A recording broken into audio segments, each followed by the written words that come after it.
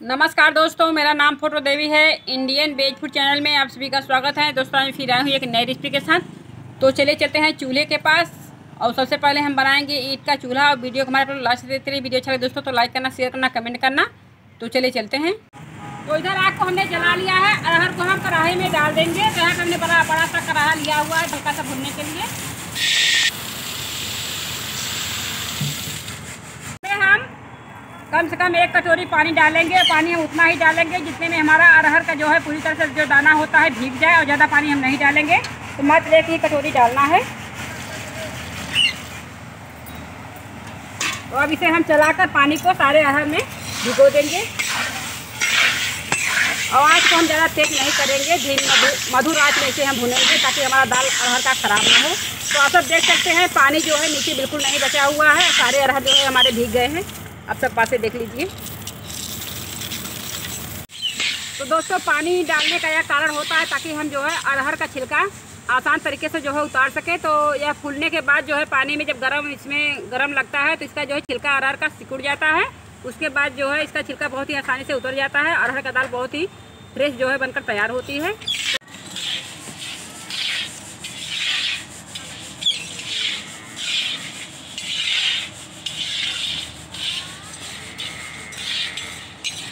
जब इसमें से चिटचिटाहट की आवाज़ आने लगेगी तो हम समझ लेंगे कि हमारा अरहर पूरी तरह से पक गया है।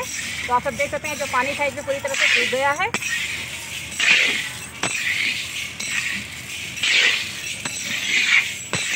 तो इसमें से जो है चिटचिटाहट की आवाज़ आ रही है तो हमारा अरहर का दाल जो है हो गया है। तो अब कढ़ाई को हम नीचे उतार लेंगे। कढ़ाई को नीचे उतार लेंगे और नीचे रखकर इसे हम चला देंगे ताकि नीचे जले ना। और मोटी कढ़ाई है काफ़ी गर्म है अभी ये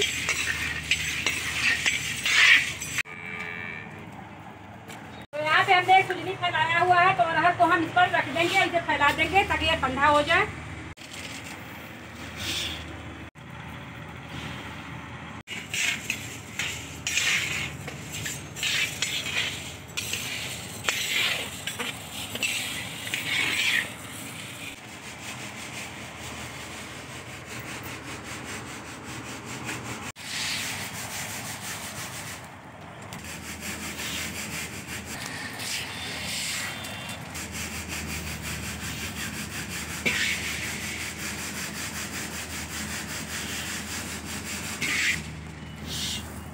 तो अरहर को हमने भून लिया है तो इसे हम पाँच घंटे के लिए छोड़ देंगे, ठंडा होने के लिए। इसके बाद हम इसे दरेंगे। तो पाँच घंटे बीत गए हैं तो आप सब देख सकते हैं कि जो अरहर को हमने पानी डालकर हल्का सा आग से जो है भुना हुआ था तो भाप के कारण इसका जो पानी था ख़त्म हो गया है। इसमें खड़खड़ाहट की आवाज़ भी आ गई है। तो अरहर को अब हम दर कर इसका दाल तैयार करेंगे। तो चलिए इसे हम दर लेते हैं। तो यहाँ पे हमने चकरी लिया हुआ है, और नीचे हमने जो है गुड़िया बिछाया हुआ है तो थोड़ा थोड़ा अरहर हम डालकर इसे हम दरेंगे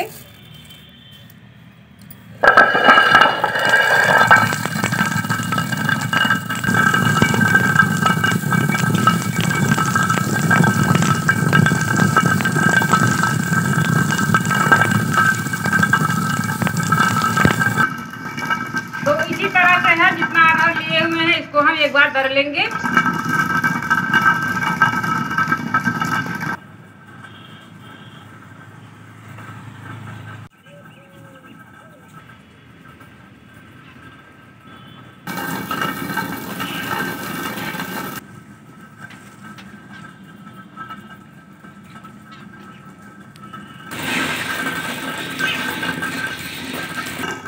तो अरहर को हमने दर लिया है तो आप सब पास से देख सकते हैं।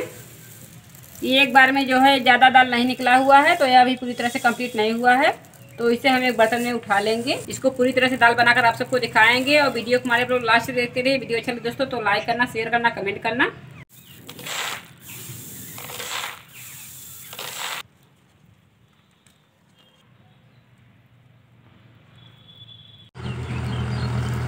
तो यहाँ पे हमने बड़ी सी कढ़ाई लिया हुआ है। कढ़ाई में हम पानी को सबसे पहले डाल देंगे। डाले हुए अरहर को हम पानी में डाल देंगे।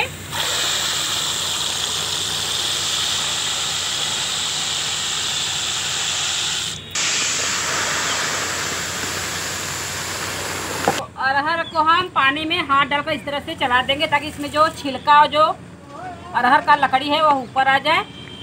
देख सकते हैं, पानी के ऊपर जो है अरहर का लकड़ी या छिलका जो है ऊपर हो गया है तो इसे हम छान कर अलग कर लेंगे एक बर्तन में रख देंगे। तो अरहर को हमने एक पानी धो लिया है दोबारा इसमें हमने पानी फिर डाला हुआ है। तो इसमें जो छिलका और लकड़ी था वो निकल गया है। तो अब इसे हम पानी से बाहर निकाल लेंगे। तो यहाँ पर हमने चारपाई पे जो है चटाई रखा हुआ है। तो इसी पे हम अरहर के दाल को रखेंगे। अरहर को रख देंगे।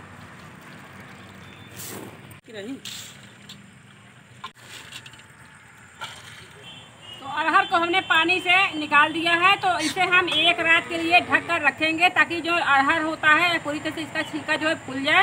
उसके बाद हम सुबह इसको हम धूप में डालेंगे तो हम एक रात के लिए इसे ढक देते हैं। रात के लिए इसे हम ढक कर रखेंगे ताकि अरहर का जो छिलका होता है, अच्छी तरीके से फूल जाए। तो मिलते हैं सुबह। तो एक रात बीत गया है, अब हम साड़ी को हटाएँगे। तो आप सब पास से देख सकते हैं कि एक रात जो है भिगोने से दाल जो है फूल गया है। अब इसका छिलका जो है सुखाने के बाद बहुत ही आसानी से जो है उतर जाएगा। आप सब पास से देख लीजिए। तो अब इसे हम एक बर्तन में भरेंगे और फिर चलेंगे छत पे सुखाने के लिए। तो चलते हैं छत पे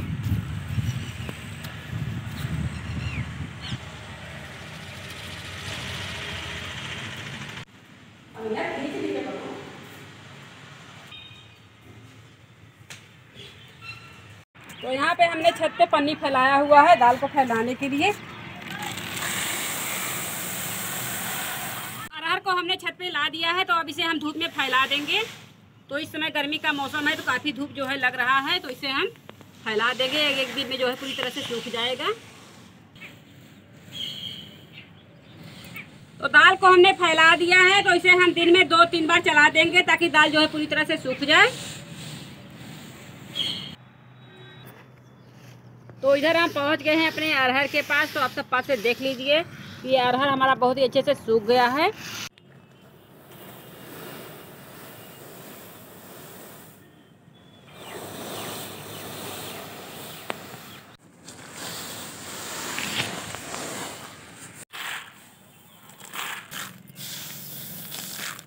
तो अब हम अरहर को ले चलेंगे नीचे। अरहर को हम पाँच घंटे के लिए छोड़ देंगे ठंडा होने के लिए। तो काफ़ी धूप में हमने सुखाया हुआ है। अगर हम गरम दाल दर देंगे तो इसका जो है, दाल अरहर अरहर का दाल जो होता है, टूट जाएगा। तो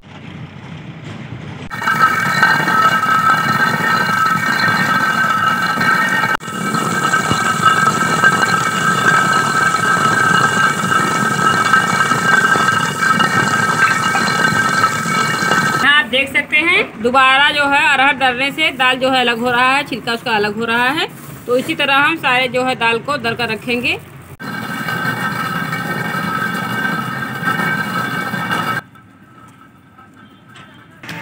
तो हवा बहुत अच्छी चल रही है तो अब अब इसका हम उसाकर इसका छिलका उतार लेंगे। तो आज हमें पन्नी बिछाया हुआ है, वहाँ जाते हैं।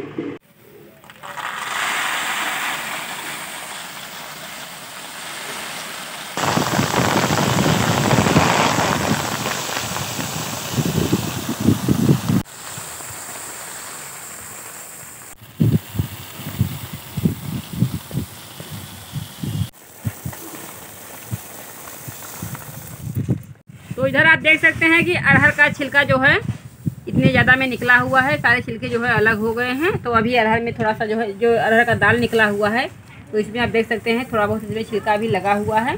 तो अब हम लोग इसे मूसर से लेकर इसकी छतैया करेंगे ताकि जो छिलका लगा हुआ है अरहर पे पूरी तरह से साफ़ हो जाए। तो अब हम दाल को कढ़ाही बड़े वाले कढ़ाई में डाल देंगे।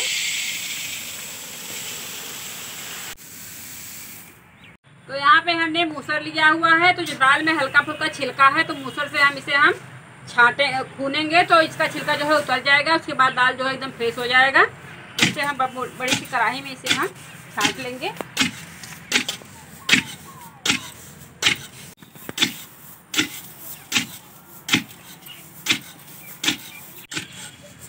दाल की छटाई हमने कर लिया है तो आप सब इधर देख सकते हैं कि छाटने के बाद जो छिलका होता है यह छोटा छोटा टूट कर छोटा हो गया है। तो अब इसे हम साफ़ करेंगे।